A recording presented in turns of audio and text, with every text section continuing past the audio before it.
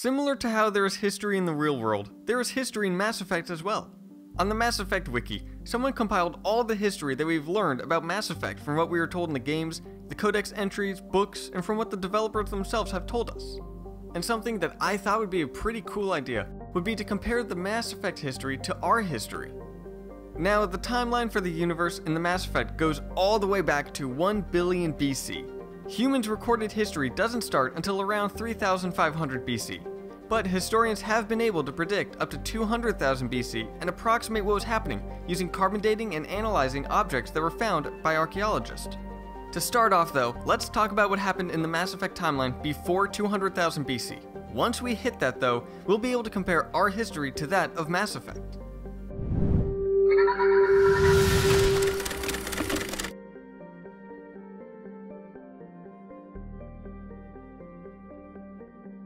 First race to dominate the galaxy were the Leviathans, who claimed that they were the first and only apex race. They fascinated every species that saw them and would offer them protection in return for tributes. The Leviathans watched the other races create synthetic life that consistently rebelled and would fight against their creators. Worried that their servants would wipe themselves out, the Leviathans created something called the Intelligence, which everyone knows better as the Catalyst. The Intelligence was created to find a way to preserve organic life. As a way to do this, the Intelligence created pawns, with the purpose to gather genetic information throughout the galaxy. Now, the Intelligence had a different idea though. It decided to betray the Leviathans and instead use its pawns to slaughter them for their genetic material, creating the first Reaper, which was known as Harbinger. That would be the reason why the Leviathans and the Reapers look so similar. With the creation of Harbinger came the beginning of the cyclist harvest of the galaxy's intelligent organic life. Alongside creating the Reapers, the Intelligence also created the Mass Relay Network. This increased the speed and efficiency of the cycles, allowing races to develop faster and more consistently between harvesting cycles.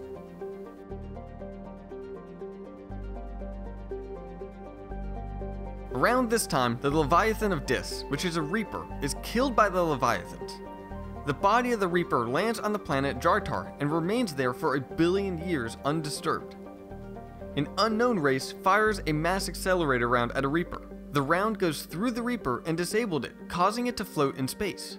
It struck the planet Klendagon and created the geological feature known as the Great Rift Valley. An ancient race called the Arthen flourished in the Xelens system. They lived on the planet Helm until an unknown event wiped out all life on that planet. They did have a presence on other planets in that system, including the planet Epho, which has evidence of orbital bombardment, and Gallon, which was the location of a complex mining infrastructure that mined for helium-3. Now we hit that time where our history begins, and starting off with the first Homo sapien appearing in Africa. Not too long after that, the first Homo sapien bone that was found carbon dates back around this year, which is why archaeologists believe that humans have been around for about 5,000 years before that. Around this time, humans have begun wearing clothing. Now two races, the Thoi'han and Inusannon, battle over the planet Eingana. The fight covers the planets with debris and wreckage of hundreds of ships. Refined Element Zero scatters around contaminating the land around it and makes its way to the natives. This causes many of them to die, but those that survived begin showing signs of biotic powers. While this happens in Mass Effect, the Ice Age was at its peak for our history. In our timeline, a rainstorm lasting 30,000 years starts in Africa. This event is called Abbassia Pluvial. The Toba volcano super eruption occurs. This happens in Indonesia and causes a volcanic winter for roughly 10 years. And at this time, the earliest example of art appears in caves around Africa. Stones were engraved with grid or cross-hitched patterns. There weren't designs of animals or humans yet at this time.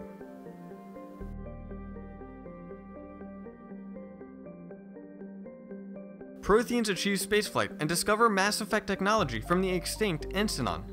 From there, they establish a galaxy-wide civilization linked by Mass Effect relays, and they create the Citadel to set as the capital. At some point, the Protheans encounter a hostile race of machine intelligence that threaten their existence. In an attempt to combat the new enemy, the Protheans combine other races throughout the galaxy to create the Prothean Empire. They successfully fight the machines and defeat them, This conflict is known as the Metacon War. Now, in our timeline, a 20,000 year long rain period happens over Africa. This event is called the Mousterian Pluvial. Now, heading back over to Mass Effect, with the appearance of the Reapers, the Prothean Empire starts to collapse. Despite the fact the Protheans knew and studied the Reapers before their appearance, they still could not prepare well enough to survive.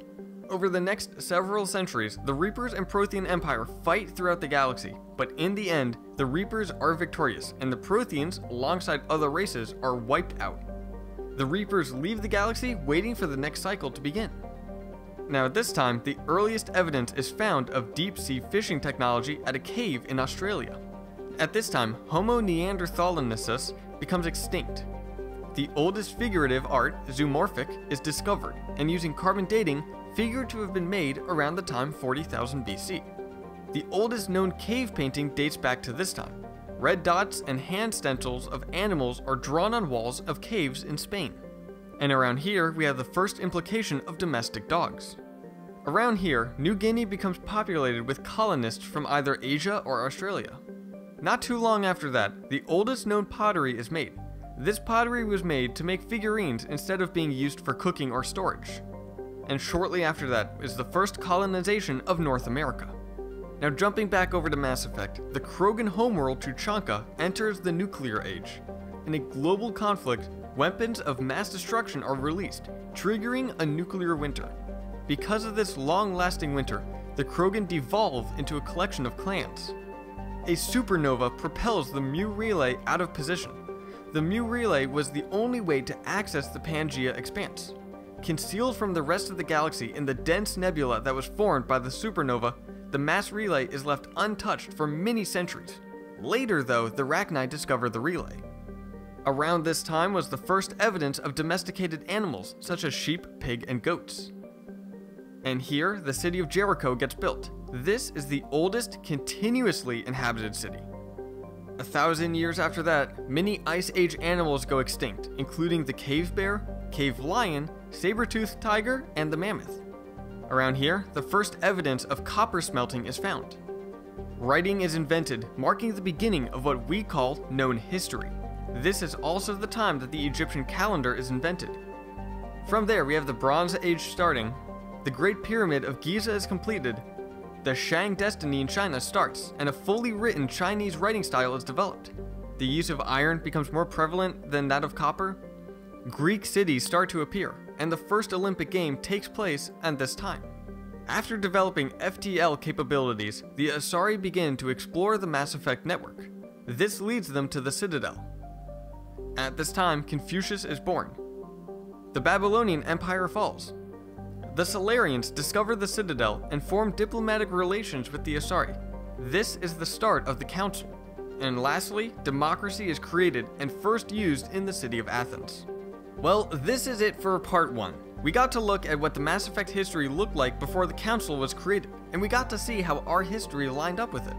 The next video will cover all the events that happened in Mass Effect after the founding of the Council, up to the year 2016, obviously. So, what do you think about this? Does history fascinate you as much as it does me? Did any of this surprise you? Let us know in the comments down below. And while you are there, give this video a like and hit that subscribe button. And I'll see you in the next video.